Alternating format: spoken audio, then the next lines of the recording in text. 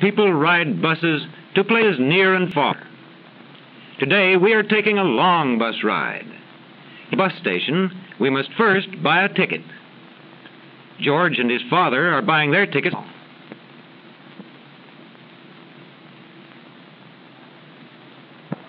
They are just in time for us coming into the station. It is big and full. Mr. Fisher drives our bus. This man tells us when the bus is ready. He talks through the loudspeaker. Platform five. 7:30 coach for Somerville, Easton, Harrisburg, Bedford, Pittsburgh, West. Time to go. Many people are going with us. The porter puts away our baggage in a space under the seats.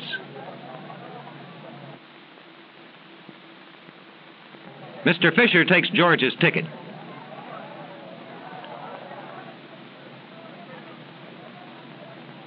Inside, the passengers are finding their seats. George likes to sit in front so he can watch the driver. Before Mr. Fisher starts the bus, he closes the door and starts the motor. Then he backs the bus away. Out of the station we go, and on our way. Right on time, too.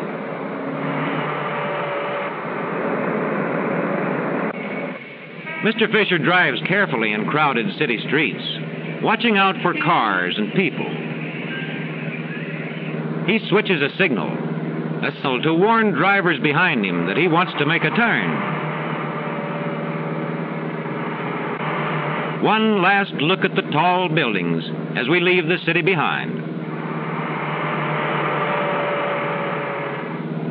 Soon we are out on the open highway, a highway that is like a river flowing from city to city. Cars, buses, and trucks roll over it day and night. George likes to see the big trucks like these, hauling all kinds of goods to factories and stores. But Mr. Fisher keeps his eyes on the road, watching the road and the other cars all the time. A traffic light stops us. We will lose a minute or two here, and Mr. Fisher has to keep track of the time.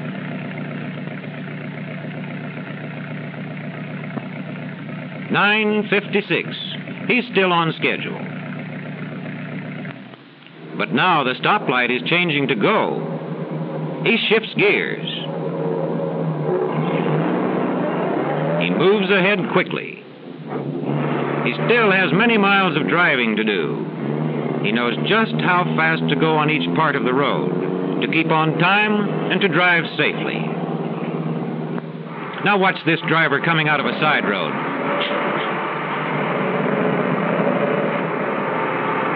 Mr. Fisher has to look out for all kinds of careless drivers on the highway.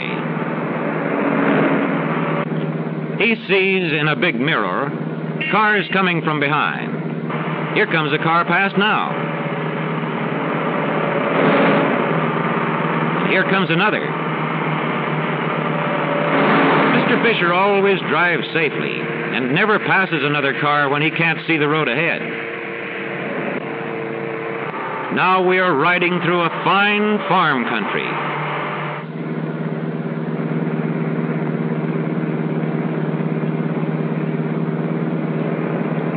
Look there. Farm boys and girls wishing the driver good luck as we roll onward. A train is coming. But we need not stop for trains. Our highway goes under the railroad through this underpass.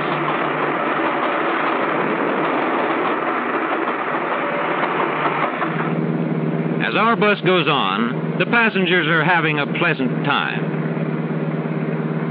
Some watch the scenery, others read, while others find napping the most pleasant way to travel.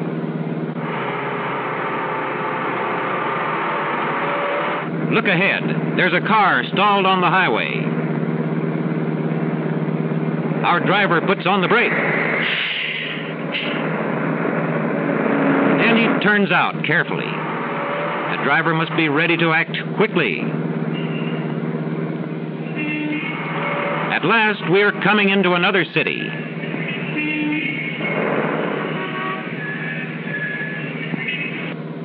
The bus turns into a station much like the one from which we started.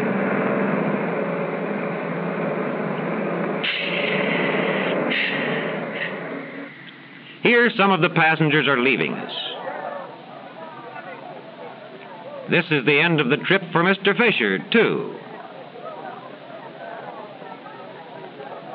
And so George tells him goodbye.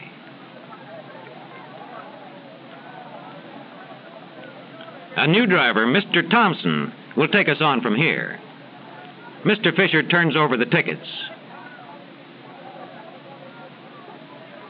Everything in order?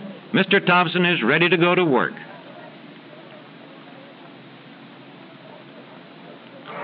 Soon we are leaving the city on the second part of our trip. We cross a broad, beautiful river. Out on the road, Mr. Thompson settles to his work.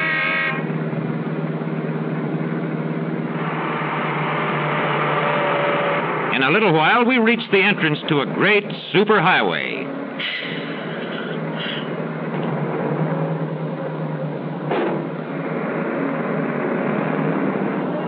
On this wide superhighway, Mr. Thompson can drive more safely and more easily. And passengers can ride more comfortably, too. Cars that cross this highway have to use bridges overhead, like this one.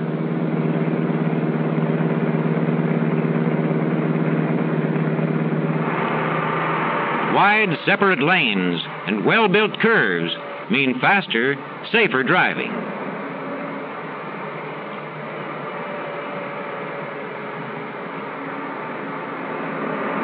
We are nearing a mountain ridge.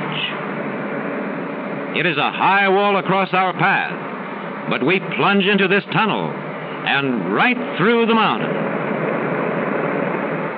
Out on the other side and down the mountainside into the valley beyond.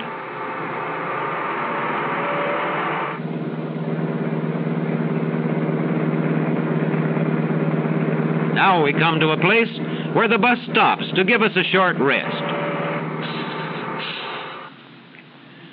A place to stretch our legs and to eat lunch. A nice lunchroom by the side of the highway. While George and his father and the other passengers have lunch, Mr. Thompson makes sure that Big Motor plenty of water and oil.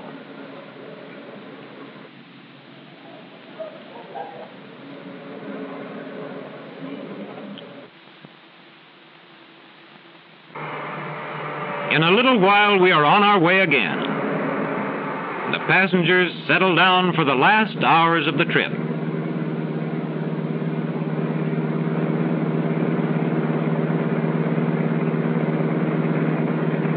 Mile after mile goes by as Mr. Thompson drives on.